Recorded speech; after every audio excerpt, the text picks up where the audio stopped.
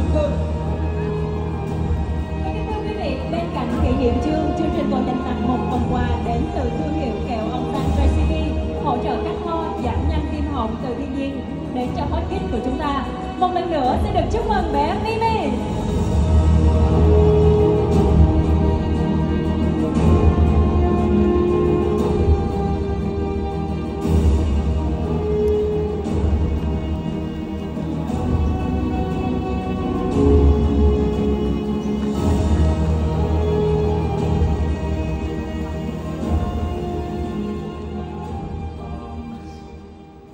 Lời đầu tiên thì ờ, cho cường ờ, xin ờ, gửi lời cảm ơn chân thành đến báo ngôi sao và hội đồng bình chọn cũng như rằng là toàn thể những người mà đã yêu mến Mimi cũng như là gia đình Shido đã ủng hộ cho con trong suốt những quãng thời gian vừa qua.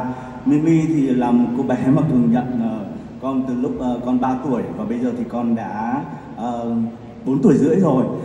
Mọi người cũng thấy rằng là từ một cô bé uh, một từ một cô bé uh, mà uh, thiếu đi cái uh, tình yêu thương của cha mẹ ruột. Nhưng mà hôm nay thì con đã có được cái uh, tình yêu thương của bố cũng như rằng là tình yêu thương của tất cả rất là nhiều những người mẹ ở trên cả nước đã theo dõi con từ những ngày mà đầu tiên con về với bố cường đến giờ.